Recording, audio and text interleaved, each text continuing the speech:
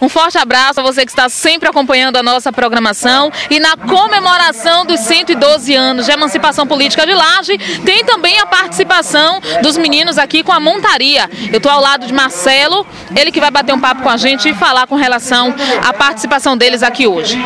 Quero agradecer aí o prefeito Binho pelo convite, né? De estar fazendo parte dessa, dessa do aniversário de Laje, 112 anos, poder fazer parte com o grupo de montaria, né? Agradecer mais uma vez. Tá ok, agradeço a sua participação. Agora deixa aí a sua mensagem de parabéns para Laje e para o povo de Laje que comemora esse aniversário. Com certeza, uma festa linda está tá acontecendo na cidade de Laje hoje, né? Agradecer mais uma vez ao prefeito aí por estar tá fazendo esse grande evento e que, e que venha os próximos anos assim também. É, bom dia a todos. É uma honra estar aqui fazendo parte desse grupo de montaria, que é um esporte que eu gosto, particularmente gosto, não só pro aniversário da cidade, mas que eu já pratico também, né? Não faço parte dos grupos, como a gente pode ver aqui, temos uma diversidade de grupos juntos da cavalaria.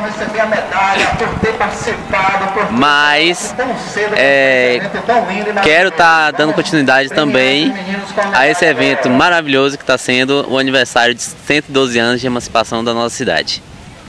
Júnior, a sua mensagem ao povo de Laje que comemora também esses 112 anos. É, não tenho muito o que falar não, porque a festa por si só ela já está falando, né? Esse evento grandioso que está acontecendo. Mas que venha os próximos anos com mais e mais atrações como está sendo feita.